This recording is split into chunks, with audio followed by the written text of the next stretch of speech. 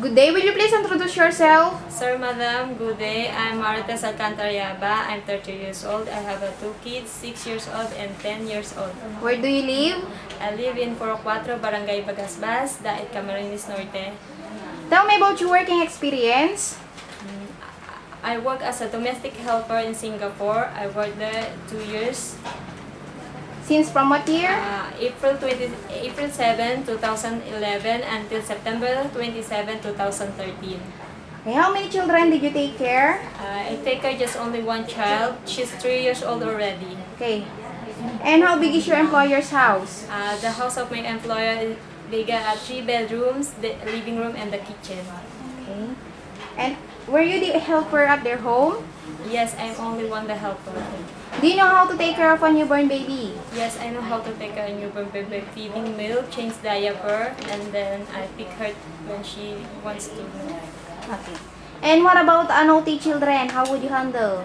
The naughty children, um, I will take care uh, by uh, playing them, uh, reading books. And are you willing to take care of an elderly, even a bedridden person? Uh, yes, I willing to take care of them. How would you take care an elderly? But feeding food, and then I give the water. Do you know how to cook? Yes, I know how I know how to cook. I know how to cook like Filipino dish like tinola and sinigang, adobo. And then I know how to cook some Chinese food like uh, fried rice, uh, uh, steamed fish, and then uh, fry, fried veggies. Okay. And your duties in Hong Kong will be doing all the household chores and at the same time taking care of the children. So how could you handle this kind of situation?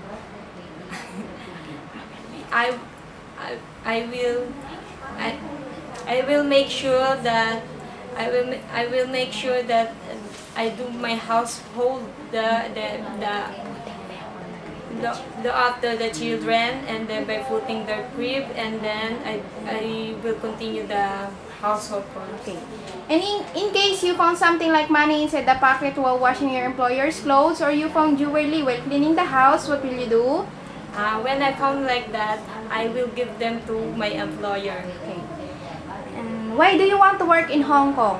because of uh, for my future of my children. Okay. Would you like to say something to your prospective employer someday? Uh, yes, um, if, madam, if, if you will, if you will be opportunity to work there, I will sure, I promise that I will uh, hard work and then uh, obedient and then um, a loyal and then uh, I finish my two years contract without any problems. Thank you.